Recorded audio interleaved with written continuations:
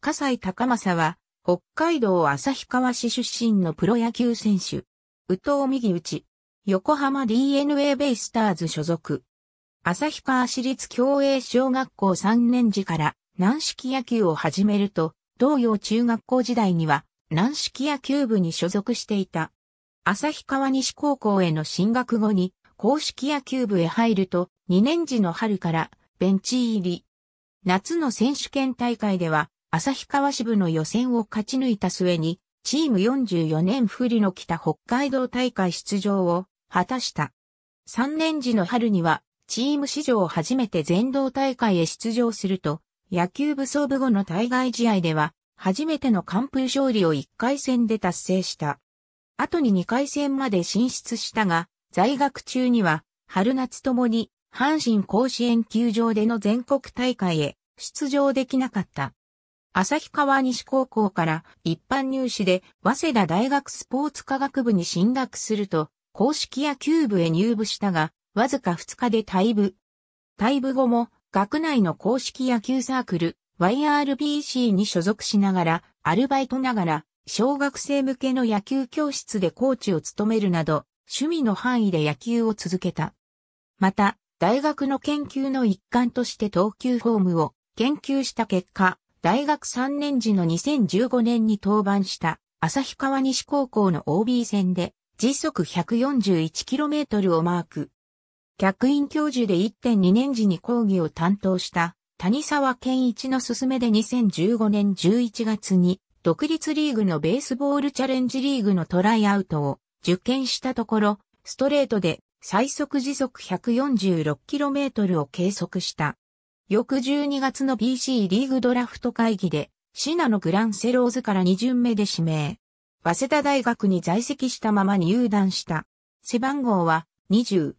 大学4年時の2016年、リーグ戦の前期から登板。前後期を通じて、中継ぎや抑えで35試合に登板すると、3勝1敗、1セーブ、防御率2.43という成績を残した。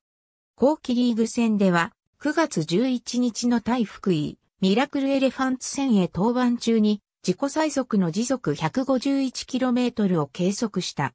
2016年の NPB 育成ドラフト会議で、横浜 DNA ベイスターズから1巡目で指名。支度金300万円、年俸360万円という条件で、育成選手として入団した。入団当初の背番号は105。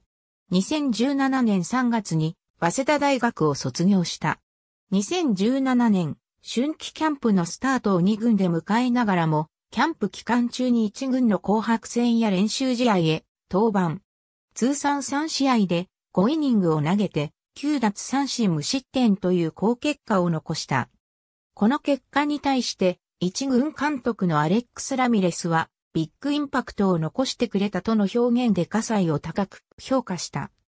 リリーフとして戦力になるためには連投をこなせるだけの体力が必要というゼネラルマネジャーの高田茂の判断で、シーズン中の支配下選手登録は見送られたが、イースタンリーグ公式戦には25試合の登板で3勝3敗、2セーブ、防御率3.72をマーク。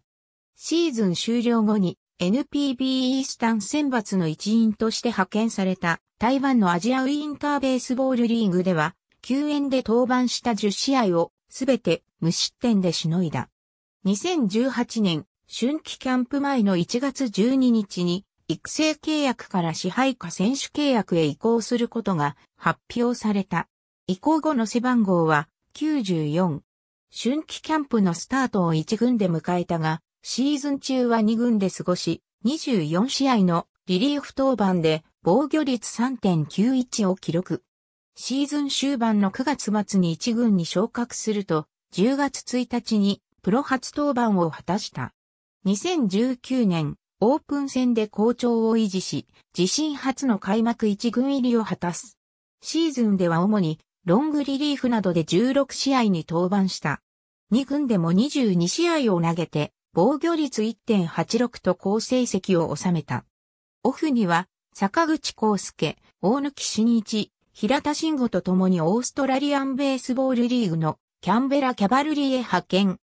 2020年2軍でリリーフとして27試合に登板したが、防御率は4.05と前年より悪く、1軍ではシーズン終盤に1試合登板するのみに止まった。2021年は開幕1軍入りを果たす。しかし、3月27日の巨人との開幕2戦目で DNA から移籍した梶谷隆之から移籍後初安打となる満塁本塁打を打たれるなど1回6失点の大炎上を喫し、この1試合の登板のみで4月8日に登録を抹消された。6月29日のファーム対西武戦において、控えの野手がいなかったため、頭部支給を受けた海老名達夫に代わってダイソーで起用された。2軍では22試合の登板で防御率6.35と前年よりさらに成績を落とし、1軍再昇格を果たせぬまま10月5日に球団より戦力外通告を受けた。通告後、自身のノートを開設し、そこで12球団合同トライアウトを受ける見込みであることを公表した。最速時速 156km のストレートと独特な軌道を描くスライダーが武器のオーバースロー。チェンジアップやカーブも投げられる。DNA への入団1年目にはリリースポイントが安定しないことやトップを立てるタイミングが遅いことを2軍の首脳陣から指摘されていた。このため、前述したアジアウィンターベースボールリーグからは、テイクバックがほとんどない投球フォームに改造。塁上の走者に向けて保守が送球するような変則フォームでリリースポイントの安定や急速の向上につなげた。シナのグランセローズ会長の三沢家サハルは半年のトレーニングで時速 150km を投げられる身体能力の高さ、未だ成長途上であること、自ら考えたことを行動に移して、その行動で結果を残すことを、葛西の強みに挙げている。